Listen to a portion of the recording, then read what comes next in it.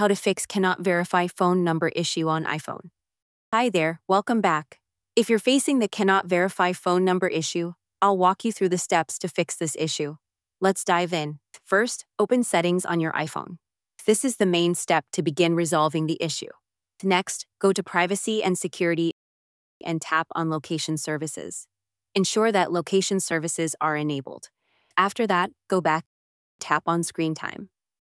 Scroll down and tap on Content and Privacy Restrictions. Make sure this option is turned off.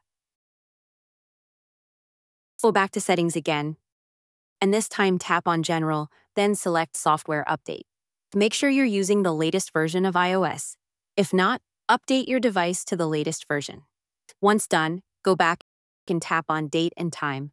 Make sure the Set Automatically toggle is turned on. Go back again and tap on VPN and Device Management. If you're connected to a VPN, disconnect it.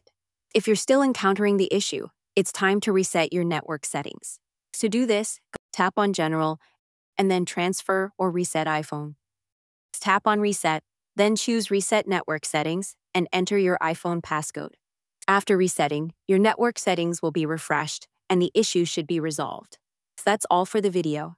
If this helped you out, don't forget to subscribe to my channel for more useful tips and tutorials. Thanks for watching, and I'll see you in the next video.